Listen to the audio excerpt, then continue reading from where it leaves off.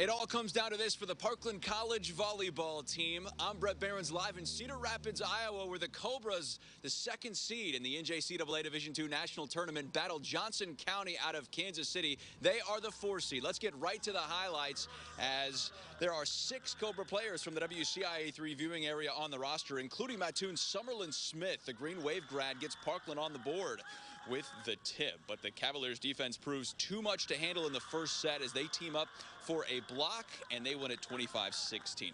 Give some credit to the Cobras who fought back in the second in a big way. Sophie Young, a big-time attack. Then Smith sets up Jaden Sorter.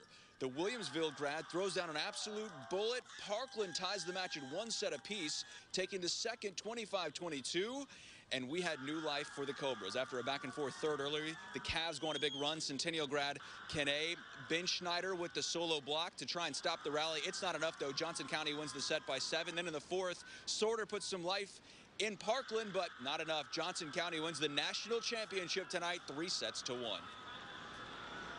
Well, I mean, it would have been nice to win, but it was just really fun coming out here and getting to play with everyone. Sorry, I lost my voice. The atmosphere was great. I mean, it was just it was just awesome.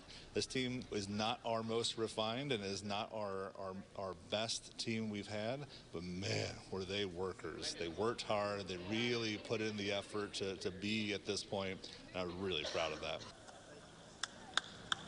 The Cobras finished the season 33 and 2, their third straight runner-up trophy.